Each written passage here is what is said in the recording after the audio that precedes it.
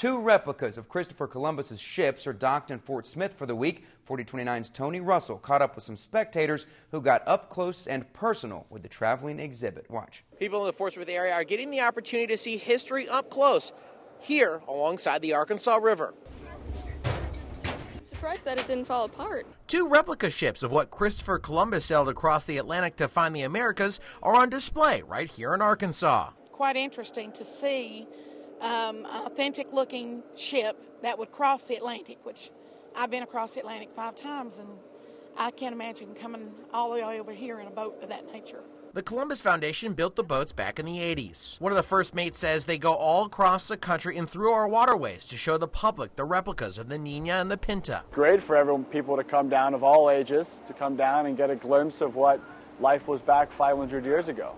Pretty cool being on a big boat. I mean, that's the biggest boat that I've ever been on. What an awesome thing to be able to have something like this at Fort Smith and dock here and for the general public to see and these ships actually sail. You know, a lot of people say, are we towed up the river?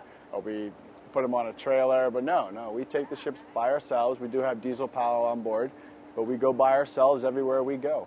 Tony Russell, 4029 News. And they're open just off of Riverside Drive between 9 a.m. and 5 p.m., and they will be here till November 20th. Ticket prices are $8 for adults, $7 for senior citizens, and $6 for children. They're located alongside the Fort Smith riverfront across from the Gerber plant.